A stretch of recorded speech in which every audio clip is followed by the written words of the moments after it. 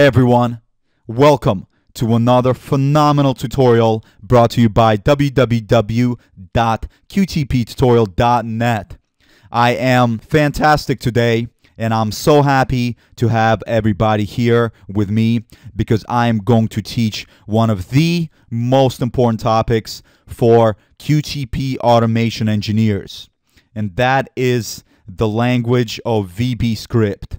It's a scripting language, and QTP automation is based entirely on this language. I know we have had many requests for this topic, and I am glad to hear it because through my career, I have noticed that there are so many charlatan QTP automation engineers who know how to use QTP. They may be familiar with the tool, but as soon as you put a function in front of their eyes or a little bit of VB script, they freak out and they have no idea what's going on. And to me, that is so absurd. How are you going to be a QTP automation specialist and not know VB script? All you are is just an individual who knows how to use a tool. You are very expendable to many companies and you are easily replaceable because there are so many people out there that can come in, learn how to record and play back with QTP, and do very little for the company. I've experienced it many times where I come in and the only automation they have is record and playback, and it is a ridiculous pain to maintain that stuff and to deal with it, to figure out what's going on. My God, if only those individuals knew VB script, knew the proper conventions of what to do, maybe they would make the life of the company and all of their fellow workers a lot easier. So that's what we are here to show you guys is how to be a thousand steps ahead of those individuals just by mastering VB script. Let me say that if you guys don't know VB script and you're attempting to do QTP automation, you need to stop right now. You need to learn VB script, you need to master it, and then jump back into QTP automation. Doing QTP automation without VB script is like doing calculus without learning your basic mathematic operations if I threw in some crazy quadratic equations at you and you didn't know how to do addition or subtraction, how do you expect to understand what's going on when a real automation engineer presents you with a keyword driven framework? It's going to take you months to analyze the framework. No one's going to pay you for months of time to analyze a framework. That's ridiculous. To spend hundreds of thousands of dollars for some person to learn my framework, no way. I want you to get in there. I want you to analyze it for a few weeks, know what's going on, and then do your job. Let me show you guys a quick example of what I mean. If we take a look at this function right here. Now, imagine you guys are beginners, and I imagine most of you watching this tutorial are. Maybe some of you guys are advanced, just trying to improve your skills. But look at this function, guys. It's, you know, I would say pretty, pretty decent function, contains some complicated stuff. Do you guys even understand what's going on here if you're a beginner? To you, this is probably some kind of a Chinese language. You have no clue what's going on. You may be completely lost. All of this is meaningless. And for you to analyze this, I don't know how long it would take you. I don't even know if you would be able to analyze it correctly. And so you need your fundamentals. You need your basic VB scripting skills so that you can jump on board to any company and be able to pick up that project. Not only will you be able to pick up that project, you will probably be able to lead it just by knowing VB script. Just because, like I said, so few people know it, so few people understand it well, that you'd be far ahead of the game.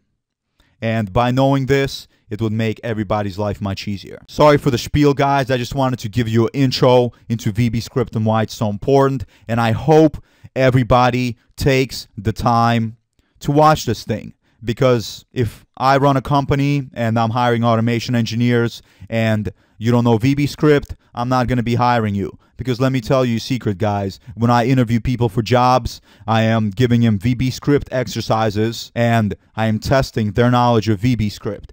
And if you are not able to handle the tasks that I give you, you're not going to be working with me. Let's go ahead and get into the meat of the topic. This will be a multi-series tutorial. We're going to cover everything about VB script from A to Z. I hope to make everything as simple as possible for you guys. And as always, we take any questions that you guys have. Hop on our site, go to these videos, and leave your comments, questions. We'll be sure to answer them. So, let me give you guys a quick overview of what I plan to cover through these tutorials. We're going to start off with some VB script basics, get you guys a good foundation, and then proceed with variables, arrays, constants, and dictionaries. Then I'm going to teach you guys some conditional logic. After that, some loops, then functions and subs. Then we're going to deal with files and folders. We're going to get to error handling. We're going to do using built-in VBScript objects. And maybe we'll add some more topics towards the end. If you guys request some, if you guys have any knowledge gaps or anything that I feel necessary, we may add to the end. So number nine is optional open and this will be a multi-week tutorial. It will go on for a while. There's so much to cover, but we're giving this content out for you guys to learn, to become efficient, to be the best at your jobs, and to control the automation industry. Now that I gave you guys the overview, we can go ahead and get started. I'm actually going to be using one of my favorite VB editing tools, which is VBS Edit. This is it. And the reason I'm going to be doing stuff here and not QTP is because I want you guys to know that you don't need QTP to learn VB script. Some of you guys may be just learning QTP and you may be using the trial license and it may be running out, or you may want to get it to learn this. And I want to tell you guys no, you don't need it. You can learn VB script with this amazing tool which is 60 bucks for a lifetime license. Very cheap, but it's so light, so effective. I actually have a video on it describing all of the amazing features. So if you guys want to go check that out, we'll post a little pop-up that will lead you to that video. But I'm going to teach you guys here. And along the way, we'll get familiar with this tool. First thing I want to talk about is VB script syntax rules. First thing that I want to tell you guys is that typical of most scripting developing languages is that statements must fit onto a single line. So what does that mean? It means when you're declaring a variable, setting it equal to something, and then displaying this message box. One second. Then it all has to be on one line. For example, let me show you guys what happens if I run this in VBS Edit, F5 is to run. You guys see that? Got a pop-up, qtptutorial.net. Now, this is on a single line, all of these statements. If I wanted to do this, it's not going to work. Do you guys see that? Wrong number of arguments on line 11. And that's what it means in VBScript that all statements must fit into a line.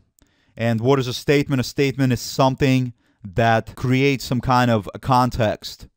So for example, here I declare a variable. Here I set the variable equal to something. You don't need any more here. You just set the variable equal to a value and it's good to go. And here I display that value for you guys so that it's visible using a message box, which we'll talk about in the future. So don't worry, we'll get into all of these words and special statements in VBScript at a later time. Right now, I just want to show you guys the syntax rules just to get you familiar. And I'm sorry, I'm trying to use shortcut keys, but my screen capture software is not letting me do so to comment and uncomment, so I have to do the slow way. And as you guys may know, if you're familiar with me, I love shortcut keys because I think every second that you save for yourself as an automation engineer is a second more that you can use for developing an amazing framework.